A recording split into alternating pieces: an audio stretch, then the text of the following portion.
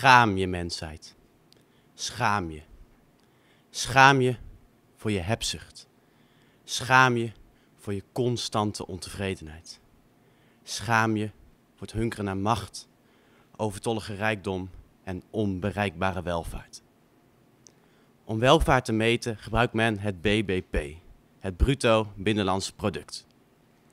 Zouden wij als mensheid niet beter een andere maatstaf kunnen gebruiken, namelijk het BNG, het bruto nationaal geluk? Hiermee wordt de mate van geluk gemeten in een land. Zouden wij als mensheid niet beter dit gegeven kunnen gebruiken in plaats van altijd en alleen maar op geld te focussen? De westerse mens is namelijk nooit tevreden en gelukkig te noemen. We bouwen een veilige muur van sociale regels en materiële bezittingen om ons heen, die helaas functioneert als een verblindende spiegel voor dat wat er echt toe doet. We kiezen ervoor om te negeren wat er wel toe doet.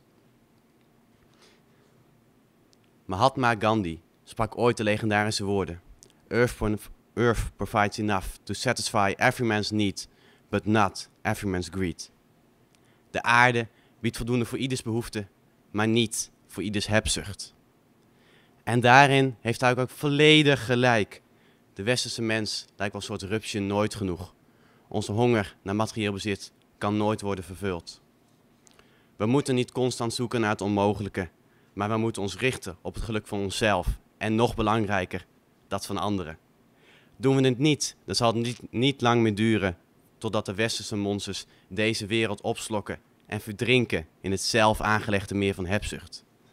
Daarom is dit een oproep naar alle mensen hier, binnen en buiten deze muren, aan iedereen die dit ooit zal horen en die dit niet zal horen.